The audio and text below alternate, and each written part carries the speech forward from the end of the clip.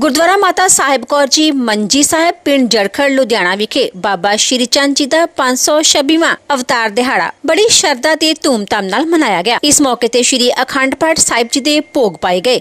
ਇਸ ਮੌਕੇ ਤੇ ਵੱਡੀ ਗਿਣਤੀ ਵਿੱਚ ਸੰਗਤਾਂ ਨੇ ਮੱਥਾ ਟੇਕ ਕੇ ਬਾਬਾ ਜੀ ਦਾ ਆਸ਼ੀਰਵਾਦ ਪ੍ਰਾਪਤ ਕੀਤਾ। ਇਸ ਮੌਕੇ ਤੇ ਸਰਪ੍ਰਸਤ ਹਰਪਾਲ ਸਿੰਘ ਲਹਿਲ, ਸਰਪੰਚ ਬਲਜਿੰਦਰ ਸਿੰਘ ਜੜਖੜ, ਪ੍ਰਧਾਨ ਦਿਲਬਾਗ ਸਿੰਘ, ਖਜ਼ਾਨਚੀ ਮਾਸਟਰ ਸ਼ਿੰਗਾਰਾ ਸਿੰਘ, ਮੀਤ ਪ੍ਰਧਾਨ ਸਰੂਪ ਸਿੰਘ, ਰਣਧੀਰ ਸਿੰਘ ਸਮੀਰ ਸਿੰਘ ਜਿੰਦਰ ਸਿੰਘ ਜਰਨੈਲ ਸਿੰਘ ਗਮਦੂਰ ਸਿੰਘ ਭੁਪਿੰਦਰ ਸਿੰਘ ਬਲਜੀਤ ਸਿੰਘ ਪ੍ਰੀਤ ਮਹਿੰਦਰ ਸਿੰਘ ਮਨਮਿੰਦਰ ਸਿੰਘ ਇਕਬਾਲ ਸਿੰਘ ਸਿੱਧੂ ਮਨਮੋਹਨ ਸਿੰਘ ਪਰਮਜੀਤ ਸਿੰਘ ਸੁਰਿੰਦਰ ਸਿੰਘ ਜੜਖੜ ਦਵਿੰਦਰ ਸਿੰਘ ਆਦ ਹਾਜ਼ਰ ਸਨ ਹਾਂਜੀ ਤੁਹਾਡਾ ਨਾਮ ਕੀ ਹੈ ਜੀ ਹਰਪਾਲ ਸਿੰਘ ਸਰਪ੍ਰਸਤ ਗੁਰਦੁਆਰਾ ਮੰਜੀ ਸਾਹਿਬ ਜਰਖੜ ਓਕੇ ਜੀ ਅੱਜ ਬਾਬਾ ਸ੍ਰੀ ਚੰਦ ਜੀ ਦਾ ਜਨਮ ਦਿਨ ਮਨਾਇਆ ਗਿਆ ਹੈ ਇਸ ਮੌਕੇ ਕੀ ਕਹਿਣਾ ਚਾਹੋਗੇ ਮੈਂ ਇਸ ਮੌਕੇ ਇਹ ਸੰਗਤਾਂ ਨੂੰ ਸੰਦੇਸ਼ ਦਿੰਦਾ ਜੋ ਕਿ ਬਾਬਾ ਸ੍ਰੀ ਚੰਦ ਜੀ ਅਵਤਾਰ ਦਿਹਾੜਾ ਅੱਜ ਬਹੁਤ ਹੀ ਸ਼ਰਧਾ ਨਾਲ ਮਨਾਇਆ ਗਿਆ ਹੈ।